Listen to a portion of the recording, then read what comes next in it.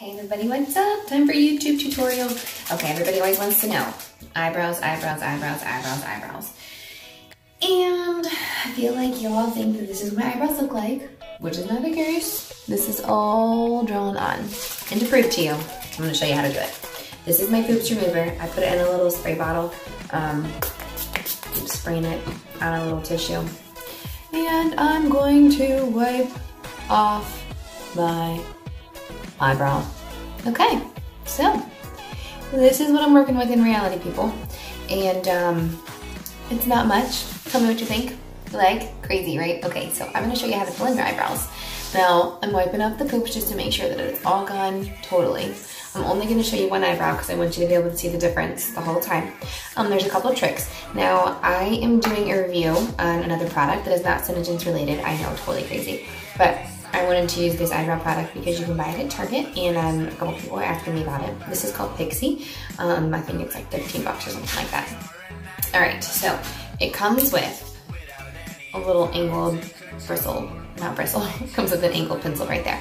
And um, the way to do your eyebrows is that you want them to be lined up in a specific way. So if you take your, your brush, your pencil, whatever you're using and go from this corner of your nose and you put it straight up. That should be this part of your brow, that straight area.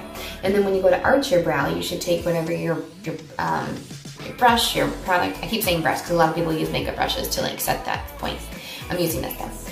Take it from the corner of your nose, and if you go directly over the pupil of your eye, that is where you should have the arch of your brow. And then lastly, if you take it still from that same corner down here and take it out to the corner of your eye, that is where the end of your eyebrow should be. I go about it in a couple simple steps um, to try and make it easy.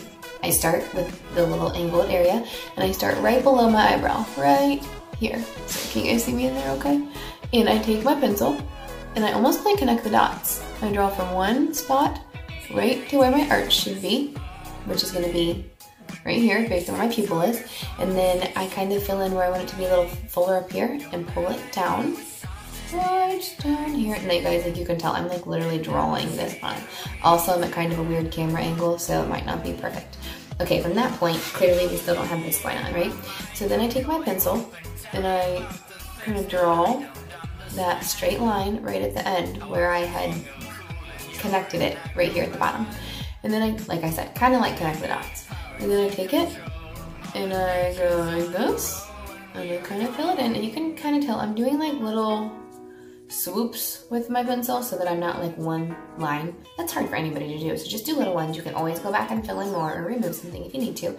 And then I take it and I fill in this blank spot right here, just with the edge of it. And fill, fill, fill. There you go. They make this in a couple different colors, so you could do it in really dark, you could do it in light. They also have it in black. Um, and then I normally, so this is not waterproof or set right here, so I will tell you that. It is considered to be water resistant, but it is not waterproof. Um, so I wouldn't go swimming and think that your eyebrows are going to stay in this. That is something that we said can do. Okay, so looking pretty decent. And then don't normally check anymore, but for your purposes, you might want to check.